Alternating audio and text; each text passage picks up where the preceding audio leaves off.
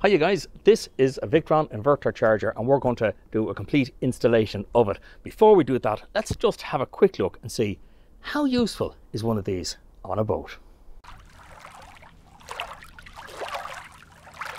So guys, the first thing when you take this piece of kit out of the box, the first thing I notice about it is the style of it. No longer do you have that old tin box, biscuit tin uh, type casing. This is a lovely plastic casing. It's aesthetically pleasing. But that's hugely beneficial because what that means is now the amount of places you can install this are greatly increased. No longer do you have to have this in the engine room or hidden away in the bilge. You can mount this because this is not an ugly piece of kit. This is quite a fancy looking unit and I'm quite happy to have this mounted where it is here in the lounge part of our boat. Okay, the other thing that I really do like about this is that all the connections for this unit are on the outside of it. You don't actually have to unscrew the cover, you don't have to take the cover off, and that makes it simple to connect up. And it makes it very positive that you're certain it's either right or it's wrong. I don't know about you, but I would lead a very, very happy life never seeing the inside of this unit at all. I'm quite happy never to remove the cover, but um, I that that simplicity makes it easy. Simple is almost always right guys, this is just a little bit of advice. If you your loved one wants to come boating more often with you and they're whinging about, like I would be, oh, I need to get my hair done, I need to do this. Forget about the depth sounder, the fish finder, or all these gadgets that you have up on deck. This is it. The inverter. Mighty. It is mighty. Hair straightener, hair dryer, and the old electric kettle. It is brilliant. I would never have thought I would have used one or I would have wanted one, but now that I have it, there's no way it's gone off the boat. It is fabulous. Well, thanks to Euromotives and Carrick-on-Shannon for supplying that to us. Yeah, and um, Euromotive also supplied the uh, Victron solar panels. So now we're in the, the situation where we can generate our own DC electricity with the solar panels, and then with the inverter, we can now convert that DC electricity into mains 240 volt and we can run all the electric appliances that we, we use like hoovers your hair dryer hair straighteners. I've used um, electric sanders with it. I've used this is um, gone boom over my head. Well, oh look just basic. It's a, an inverter. Any women out there will just listen to me. We can have our hair dryers we can have our electric kettles we can have our hair straighteners and mm-hmm. the men can have the hoovers. It is brilliant I've never heard of one before, being honest about it. Um, would I have looked for one? Don't think so. But now that we have one, I yeah. um, no way would I be without it. It is brilliant. You know, you can mm-hmm. Uh, go away for a weekend. Okay, you wouldn't maybe wash your hair when you're going just for a weekend. But if you're away for a week's holidays or that, you do need. Well, I personally do, and I presume every other woman does as well. Yeah. But it's nice to be able to go somewhere that you mm-hmm. you don't have to be have looking for electricity you exactly. know, because you have everything now yourself, you know, on board. It's very good. Well, do you remember the time we were up in Lough Key and we were at the island jetty? So you're completely isolated from everywhere. There is not even a water tap, let alone a hookup for electricity. But yet, I had my own personal hairdresser hairdresser yeah, that day, hadn't I? Sitting yeah. out on the, the back deck, I was able to, to dry your hair for you, and it was just such a, a wonderful feeling. It was actually, do you know what? It was it was liberating. yeah, yeah, it was just. I, I know I mean, like, forget about men would love for depth sounders, and like you would be into all these electronic chart, chart plotters and, and oh, oh, out the window. The yeah inverter is the woman's toy. I think what it does is is it it it gives you a level of comfort that men are probably quite happy to do without, but the lady in your life would certainly appreciate it, and it does. It, it could be the it could make the difference between um, your partner not wanting to go to the boat, and this could be the one thing that'll get that over the line for you. So, any questions about it? Ask Carrie and I can just tell you about the kettle and the hairdryer and all that. No. But any questions, ask Carrie, and if he can answer, he will. Any, I'd say any questions, ask um, Carl. Ask, no, any questions, I'd say ask your Euromotive in Carrick-on-Shannon. They uh, certainly are the experts in this. We are just finding our way with it. Yeah. yeah. yeah well, so we we'll have a look at, at fitting it. Yeah. Let's and go. Guys, well, it's dead easy to fit. Well, I hope it will be for you, Harry. Okay guys, so this is our wiring diagram here. This is our power source coming into the boat. We have our live, our neutral and our earth. The earth is split and it goes through the galvanic isolator. The AC power then continues on here until it comes through our inverter. I've marked it here as AC in because that matches up with what's on the bottom of the inverter, the label on the bottom of the inverter. From there, it comes out through the AC out and it continues to your RCD or your trip switches and it goes out to all your sockets from there. Now, on the DC side of things, I have the positive here marked in red. That comes down and it goes through our inline fuse and from there it goes to the positive side of the battery bank. That's just our domestic battery bank. The negative DC comes down here and it goes through our shunt. Now, the shunt is only there because we have a battery monitor on this system. If you don't have a battery monitor, you won't have a shunt and that negative line will go directly to the negative side of your batteries. And that, guys, really is that. So if, like me guys, you have no idea what a galvanic isolator is, I just googled it and it's uh, there to protect uh, the boat from stray current coming through uh, the negative terminal. Apparently this is something that can happen when a boat is in a marina and it's you have a number of different boats hooked up together. So this is what the galvanic isolator looks like in real life. I've split the insulation on our cable here. I've taken the earth, connected to the shore side and then the other side of it connects to the boat side. And that really is as simple as that. The other thing to notice is I've mounted vertically so that the cooling vents can work a little bit easier. Now guys, word of caution. Anytime you're, you're dealing with mains electricity, that work needs to be carried out by a qualified electrician. If you're not confident that you're doing it, at least get an electrician to check over your work. So this is my disclaimer. You have been warned. Proceed at your own risk. Get an electrician to do the AC side of this setup when you set up your cables, you run your cables, your AC in will go into this plug here. This is a, a male a male plug, and that male plug will go into this one here marked AC in. Simple as that. If you try to put that into the other socket, it simply won't go. So the important thing is to make to make sure that you label these correctly and that you have your wires correct. So there's our AC in. Okay, so from there we have a second plug.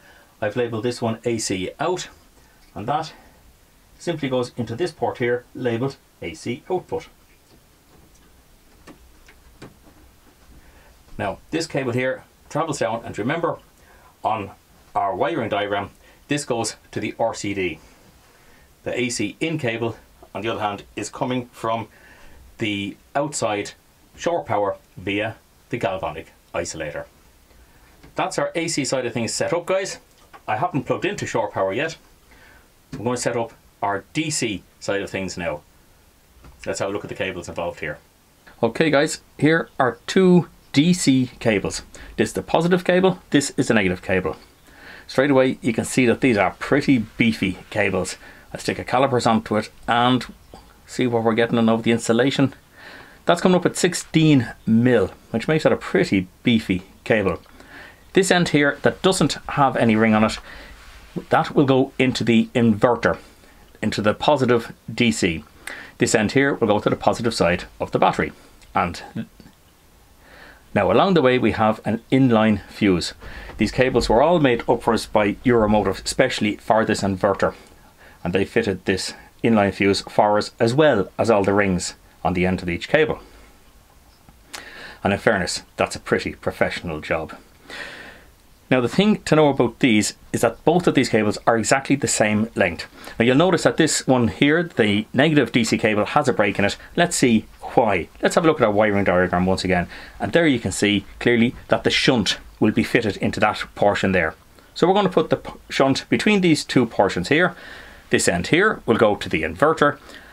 Our, short, a shunt goes in there and then this end goes to the negative side of our battery bank. Right, let's set it up.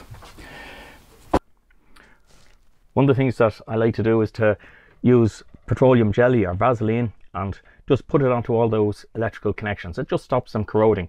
the best way to do that is to get an old paintbrush like I'm using here and that gets the Vaseline in between all the strands of copper wire and that'll stand to them it'll help the protection help to protect them from any dampness and stop the stop getting bad corroded connections in years and months to come so this is where I'm going to mount the unit. It's not secure to the wall yet. I just have it offered up here just to check cable length. I'm going to take it back off the wall now and we're going to fit the two DC cables. Okay, so to fit the two DC cables, I'm using an Allen key here. I'll just put this DC cable all the way in and I'm being careful to make sure that there's no copper wire being exposed there, no little uh, threads of it sticking out that are likely to short circuit. And remember, these are not actually connected onto the battery yet, so I get that really tight. And the red is for the positive, and of course the black then is the DC negative. Just make sure that's very tight. And we do the same with the negative cable. This one I probably was a little bit over enthusiastic when I put Vaseline onto it and there's lots of bits of fluff on it. But again, it's just a matter of I give it a little twist as I'm putting it in just to make sure that there's no bits of copper been exposed. Push it in all the way and then lock it down good and tight with that Allen key. And that's brought home nice and snug.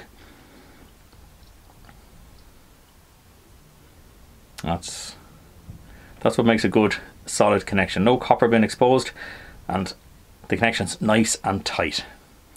And again, you can see the color coding red for positive and the black for negative.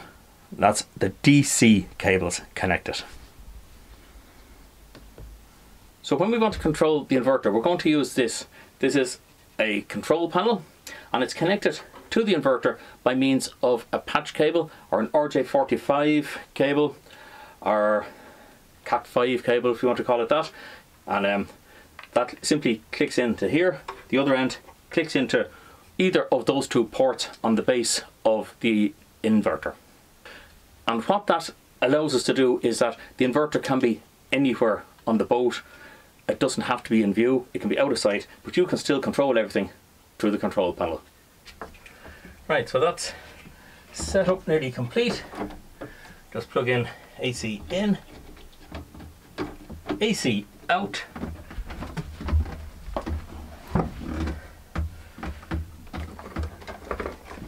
And the one last thing to do is to plug in our patch lead. Just push that in to hear a click home. So now it just remains to put steps back into place and we're sorted. Okay, so just to go through the control panel, there's a little switch here and it has charger only. The next one is marked off and the next one is on.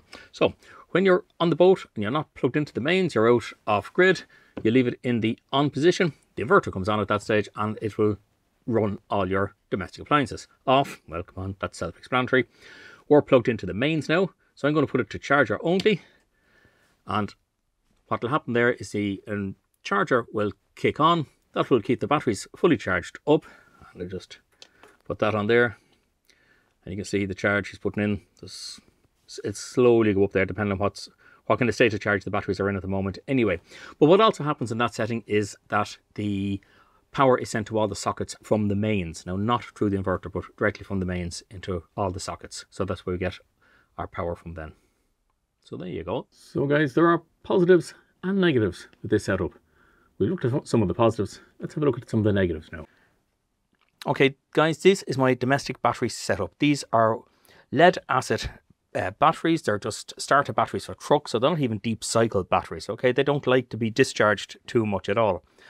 And this is the weak link in our chain because these batteries produce 12 volts. But what an inverter does is it sucks 240 volts out of a 12 volt battery. That's a multiple of 20 fold. That's quite a serious increase. So that's why you only use inverters for a short period of time.